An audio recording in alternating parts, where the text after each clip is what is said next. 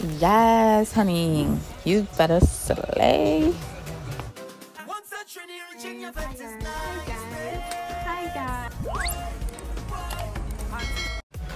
Hey y'all, hey y'all, hey y'all. So I'm here. I'm just showing you braids I used before. I'm just using them again because that's what I do. I'm showing you the handful of products that I'll be using. And now I'm about to stretch the hair. Now I did this to the best of my ability and I was proud of the results. Now here we're doing some lemonade braids. Um the only thing I wish I did, which I will see from all now, is that I wish I had put um, more braids to make it more fuller. But other than that, it came out perfectly fine. I just wish I did it more fuller. But now I, I know I have an, a, a gauge where I can gauge it for the next time I do my hair.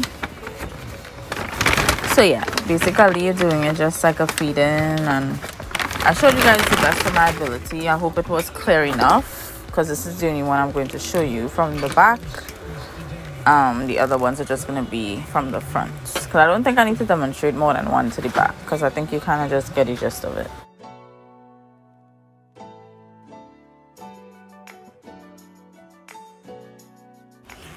guys here's the same concept and surprisingly to be very honest this was easier to do than the back or the sides. This was way easier to braid i don't know how i don't know why but it was. And it's the same concept just easier to be very honest. I don't know how else to explain but i hope you guys are visual learners and you see what what is being done and you like what's being done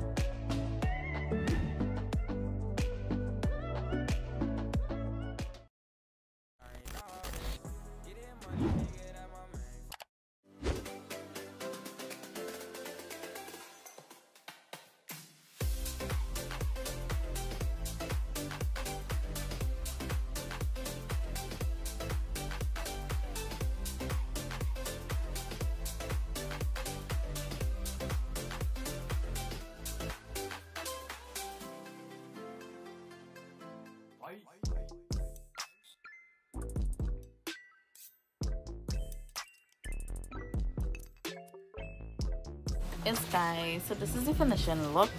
I hope you guys liked it. I didn't want it to be too long. I just wanted to be short and sweet to the point. Um and i hope you guys grasp it. As i said the only thing i wish i did was added more. But that's it for now guys. Thanks for watching